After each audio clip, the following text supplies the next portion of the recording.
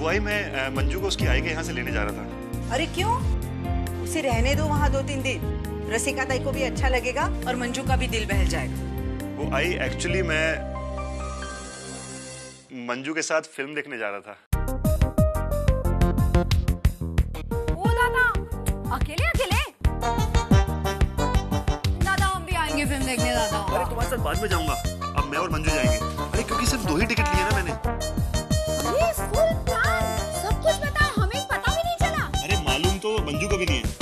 है सरप्राइज़ है ना? अरे दादा आप इसकी बातों में मत आइए। आप जाइए वहीनी के साथ। आज पुन्नी मेरे साथ खाना खा लेगी। है ना पुन्नी? बिल्कुल बेटा। लौटते वक्त अच्छे से होटल में खाना भी खिलाना मेरी बहू को। ठीक है आई। ओके बाय पुनी bye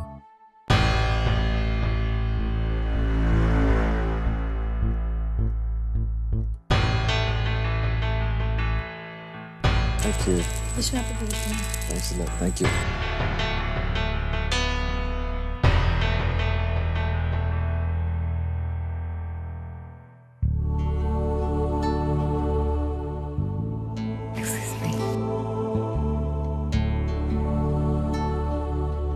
तैयार हो गई तू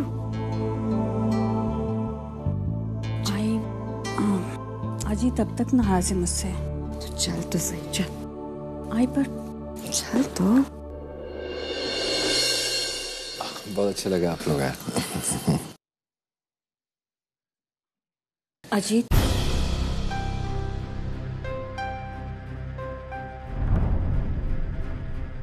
many many happy returns of the day अब मेरी तरफ़ क्या देख रहा है? पहले इसने किए ना अब तू क्यों इतना आकड़ रहा है? चल बात कर उससे। उस दिन जो हुआ था उसे भूल जाओ। बहन है वो तेरी। भाई बहन के झगड़े की उम्र ब्याज से बड़ी नहीं होती है। अजीत मैं तुम्हारे लिए ये गिफ्ट लाई हूँ। रिस्ट वॉच है, एकदम लेटेस्ट डिज़ाइन की। तुम्हें बहुत पसंद है। ये।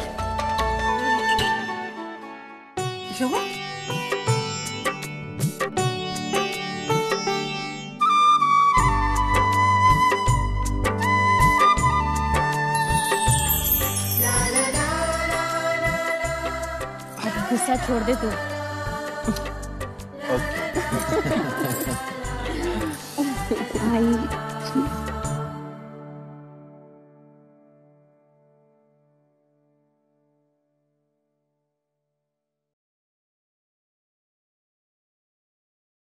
Happy birthday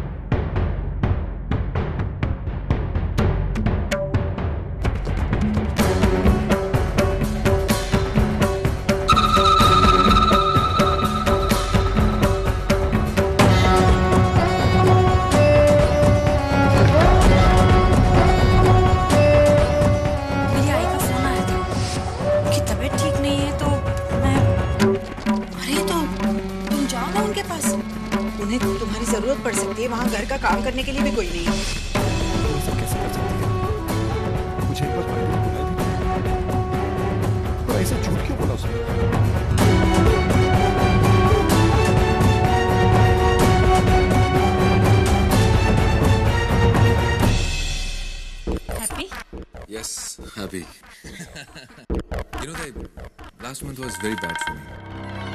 लेकिन आज की इस बर्थडे पार्टी ने उन सारी बातों को भुला दिया अर्चना की शादी टूट गई है अच्छा लग रहा है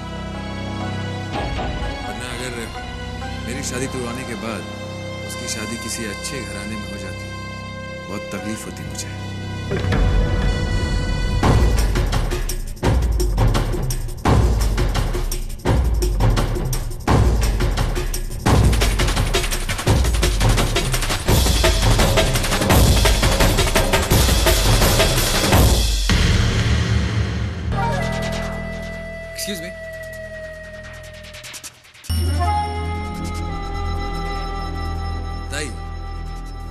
बर्थडे और अर्चना की शादी टूटने की खुशी में मुझे केक नहीं खिलाओगे? यार थैंक यू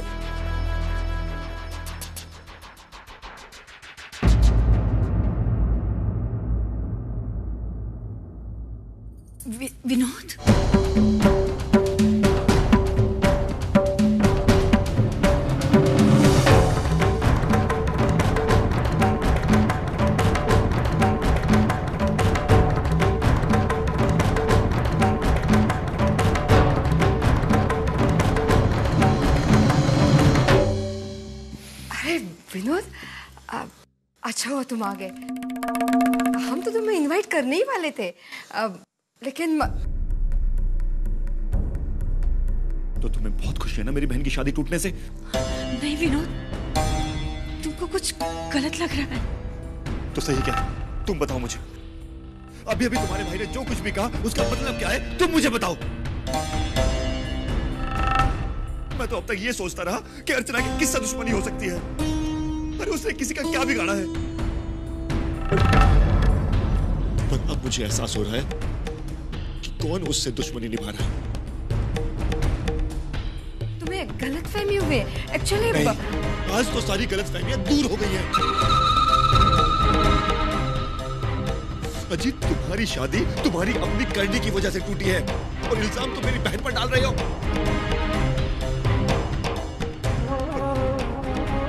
आप तो आई थी ना मेरी आई से माफ़ी मांगने? मेरी आई ने बड़प्पन में आपको माफ़ भी कर दिया था। उसका बदला आपने ऐसे दिया। मैं तो कभी सोच भी नहीं सकता कि आप ऐसी साजिश भी कर सकती है। अजीत, तुम्हारी भी अपनी एक बहन है। तो तुम किसी और की बहन के साथ ऐसी घिनौनी हरकत कैसे कर सकते हो? सच बोलो, ये सब कुछ तुमने किया है। तुम ही अर्चना से बदला लेना चाहते थे ना? कभी माफ़ नहीं करूँगा। मैं ये भी भूल जाऊँगा कि तुम मंजू के भाई हो।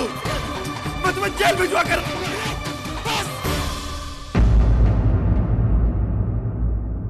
बहुत हो गई तुम्हारी बकवास। तब से मैं तुम्हें बर्दाश्त कर समझता भी नहीं कि तुम कोई भी इल्ज़ाम मेरे सर पर लगाओ। हाँ ये सच है कि मैं तुम्हारी बहन से बहुत नफरत करता हूँ। नफरत करता हूँ मैं अर्चना से। उसने उसने मेरी शादी तोड़वाई मेरा करियर बर्बाद कर दिया। तो ज़ाहिर है कि जब उसकी शादी टूटी तो मुझे खुशी हुई। जो ये इल्ज़ाम मुझ पर लगा रहे हो कि मैंने उसकी शादी तोड़वाई सरासर बेबुनियाद है बकवास ही है। ये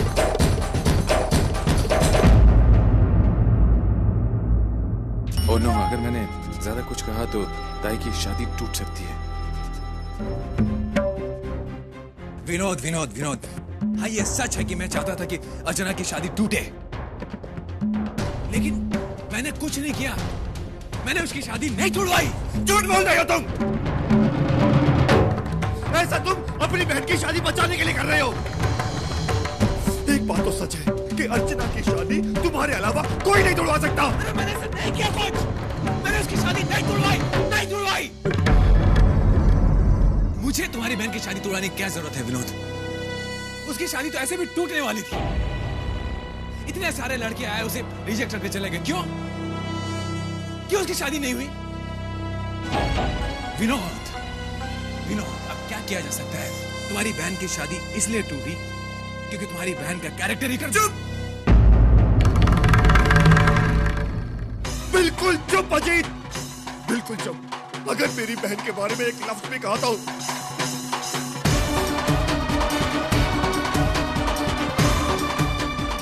मैं चाहूँ तो कुछ भी कर सकता हूँ, कुछ भी बोल सकता हूँ और तुमसे कुछ भी बुलवा सकता हूँ। लेकिन मैं ऐसा नहीं करूँगा। क्योंकि अगर मैंने ऐसा किया तो तुम फिर से मेरी बहन की बेइज्जती सबके सामने कर दोगे। मैं ऐसा नहीं होने दूँगा। मैं ऐसा नहीं होने दूँगा। क्यों मंजू? मैं ठीक कह रहा हूँ ना? मंजू, ये सब लोग खुश हैं क्योंकि मेरी बहन की शादी टूटी है। और शायद तुम भी, तभी तो तुम घर में झूठ बोलकर या खुशियाँ मनाने आई हो। विनोद मैं जानता था कि इस घर में मेरे घर वालों के लिए कोई जगह नहीं है, लेकिन मैं पर मैं आज ये भी जान गया हूँ कि मेरे भी इस घर में कोई जगह नहीं है। मंजू क्यों ऐसा क्या बिगाड़ा है मेरे घर वालों ने इनका?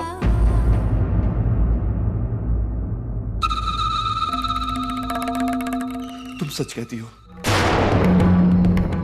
कि मैं नहीं समझा। तुम्हें और तुम्हारे घर वालों को मंजू तुमने मेरा विश्वास तोड़ा है। और इसकी सजा तुम्हें ज़रूर मिलेगी।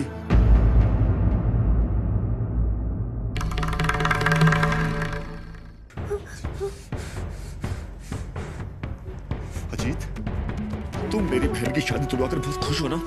तो अब सुन लो। मैं आज तुम्हारी बहन को यहाँ हमेशा के लिए छोड़कर जा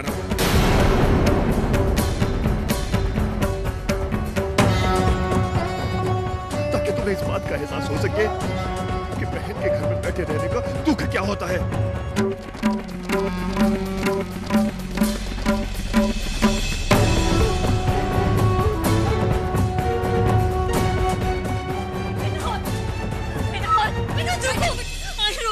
कोई ज़रूरत नहीं उसके पीछे जाने की। सबके सामने वो तुझे छोड़कर चला गया। उसने एक बार भी नहीं सोचा। तू उसकी बीवी है, उसके बच्चे की माँ है। और अगर आज तू उसके पीछे भागती है ना तो हमसे सहारे की कोई उम्मीद मत रखना।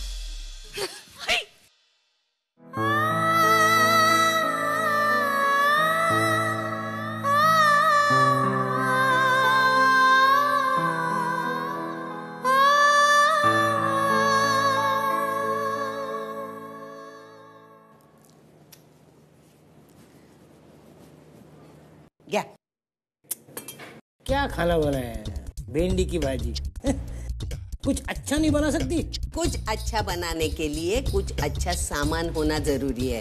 और अच्छा सामान होने के लिए अच्छे पैसे होने ज़रूरी है जो हमारे पास नहीं है।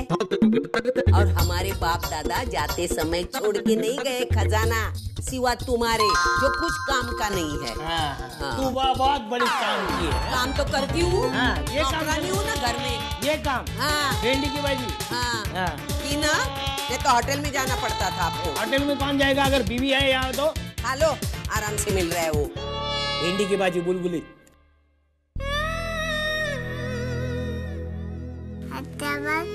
पकौड़े बनाती है।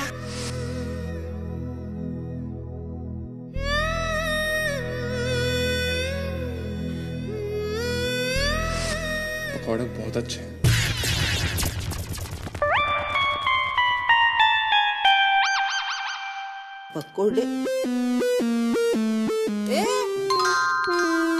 दादा भिंडी एक पागल ये पकोड़े कहाँ है ये तो भिंडी की सब्ज़ी है नहीं आई मैं मैं कुछ और सोच हूँ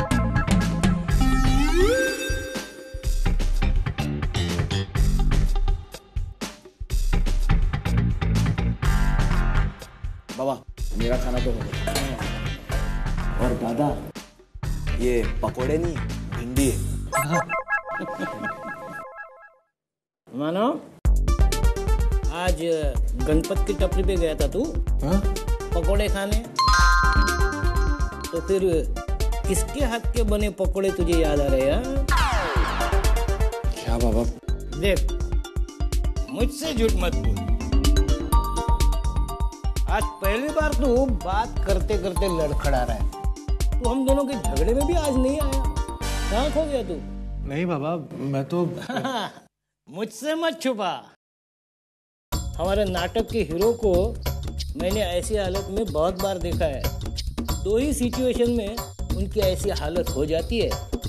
या तो बाप ने डांटा हो या फिर प्यार का मामला हो।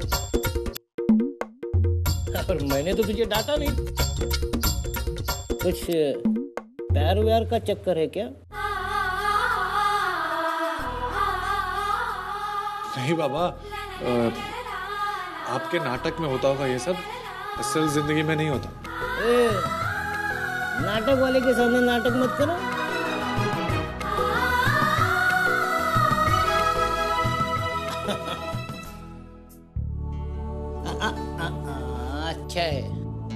अगर इसे अच्छी लड़की मिल जाए ना तो इसकी ज़िंदगी सवर जाएगी।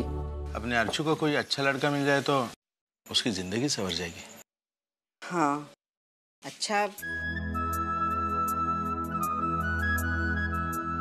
बस बस बाबा को दे। बाबा सब्ज़ी लो। हाँ बेटा।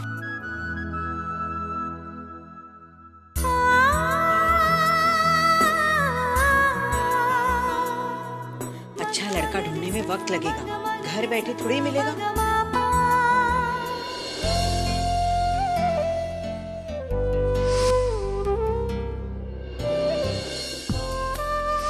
बाबा माना कि आपके उस पल ने आपकी सारी उम्मीद तोड़ दी। लेकिन बाबा, अगर आज आपका कुछ हो जाता तो फिर आपके परिवार का क्या होता?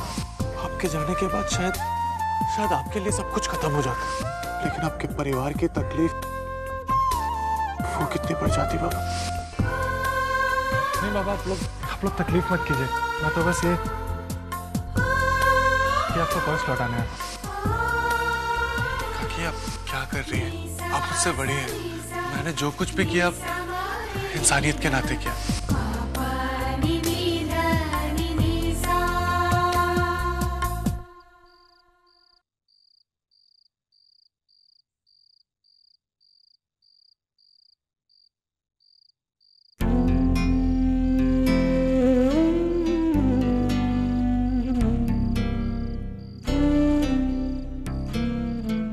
दो दिन से भूखा हूँ बेटा। कुछ दे दो भगवान के लिए। भगवान तुम्हारा भला करेगा।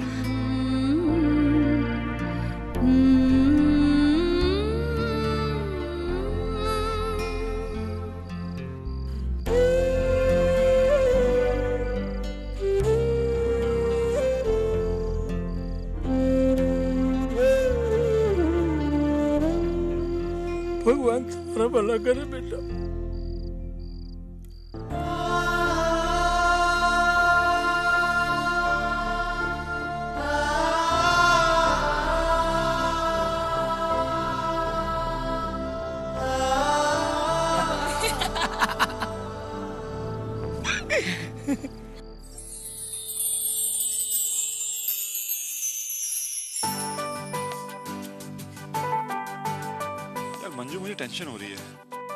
किस बात की?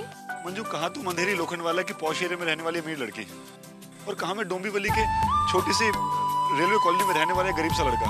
ऊपर से जॉइंट फैमिली तो हमारी शादी होगी कैसे? विनोद इधर आके बैठो पहले ये खाओ। हे बाबा मैं एडजस्ट कर लूँगी ना? तुम्हारे खातिर मंजू जिस लाइफ स्टाइल में तुम पली बड़ी हो ना उसका अफोर्ड करना तो बहुत मुश्किल है आई भी तो चाहेंगी ना कि तुम्हारी शादी किसी अमीर लड़के से हो। उसके जाने से क्या होता है? शादी आई को नहीं करनी शादी मुझे करनी है। वो भी तुम्हारे साथ करनी है। विनोद अगर आपस में प्यार हो और एक दूसरे पर विश्वास हो ना तो सारी प्रॉब्लम अपने आप सॉल्व हो जाती है। और मुझे यकीन है कि मैं तुम्हारी लाइफ स्टाइल के हिसाब से अपने आप को एडजस्ट कर लूँगी। और देखना कुछ दिनों बाद आई भी तुम्हें अपना लेगी लेकिन मंजू फिर भी लेकिन क्या?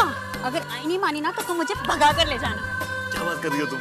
अरे क्या क्या बात करूँ? और अगर तुम मुझे भगा कर नहीं लेगे ना तो मैं अपना सारा सामान लाकर तुम्हारे घर के सामने खड़ी हो जाऊँगी फिर देखती हो कि तुम मुझे कैसे छोड़ते हो।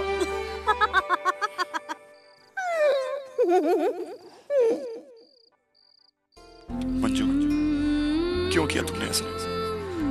अजीत की इतनी गिरी हुई हरकत में तुमने उसका साथ दिया। मेरी खातिर, मेरे प्यार की खातिर सब कुछ एडजस्ट करने के लिए तैयार थी ना तुम? फिर एक परिवार को भी अपना ना सके? मेरे घर वालों से इतनी नफरत और उस नफरत का ये अंजाम। ये तो विश्वासघात हुआ ना। बस करे रोना धोना। अरे रोया तो उसके लिए जाता है जिसे तुम्हारी आंसुओं की कदर हो। बड़ी बड़ी बातें करती थी ना तू? विनोद तुझसे बहुत प्यार करता है। तुम दोनों एक दूसरे की सिवा रह नहीं सकते। और इसी के लिए मेरी मर्ज़ी के खिलाफ जाकर तुमने शादी की थी। तो अब क्या हुआ? हाँ? विनोद अगर तुझसे सच्चा प्यार करता है तो तुझे छोड़ने की बात कभी नहीं बोलता। एक बार, कम से कम एक बार तेरे बारे में, अपनी बेटी के बारे में सोचता है। हम तो पराया है, उससे अच्छे बर्ताव की उम्मीद नहीं रखते हम। लेकिन तू तू तो उसकी बीवी है। तो तेरा आत्मसम्मान, तेरी इज़्ज़त, इसका कोई ख्याल नहीं उसे? बड़ा विश्वास था ना तुझे? वो तुझे बहुत खुशी देगा। देख देख कितनी खुशी दी है उसने तुझे। बस, बहुत हो गया, बहुत हो गया। जब तक विनोद तुझसे माफ़ी मांग के तुझे वापस लेने यहाँ नहीं आता, तब तक तू उस घर में नहीं जाएगी। आई? अरे, तेरी कोई सेल्फ रिस्पेक्ट है कि नहीं? है आई। सेल्फ रिस्पेक्ट भी है। लेकिन आई मैंने कभी सपने में भी नहीं सोचा कि विनोद से मेरी शादी टूटे। आई उसमें बहुत सारी अच्छाइयाँ उसकी कद्र करती हूँ मैं। आई मुझे वो घर भले ही पसंद नहीं है लेकिन मैं विनोद के खिलाफ मैं विनोद के खिलाफ कुछ भी नहीं सुन सकती। मंजू मैं विनोद के खिलाफ कुछ नहीं कह रही हूँ। लेकिन तू तो एक बात समझ ले। तेरा पति कभी भी तुझे छोड़कर अपने घर वालों का बनकर रह सकता है। उसके लिए तेरी कोई अहमियत नहीं है। तू अगर चाहती है, वो तेरा बनकर रहे तो विनोद को अपने घर वालों से तुझे तोड़ना होगा। इसी विनोद के घर वालों के लिए तुमने अपने भाई को चाटा मारा था। देख, क्या सिला मिला तुझे? तू कुछ भी कर ले, मंजू। वो घर तेरा कभी न था, न कभी बनेगा। तेरी सास तेरी वो ननद अर्चना वो होने नहीं देंगे। जब तक वो है, तेरे साथ हमेशा सौतेलेपन का ही बर्ताव होगा। तू तो इस घर की बेटी है, और हम ही तेरे अपने हैं। मैं तेरा बार बार झुकना नहीं देख सकती। आई हूँ मैं तेरी, और मेरे लिए तेरी खुशी से बढ़कर और कुछ नहीं है। मैं जो कुछ करूँगी भलाई के लिए करूँगी मेरी बात सुन। निकाल दे उस परिवार का ख्याल अपने दिल से और अपने बारे में सोच। सिर्फ़ अपने बारे में। इसी विनोद के घर वालों के लिए तुमने अपने भाई को चाटा मारा था। देख क्या सिला मिला? कुछ भी कर ले मंजू वो घर तेरा कभी न था, न कभी बनेगा।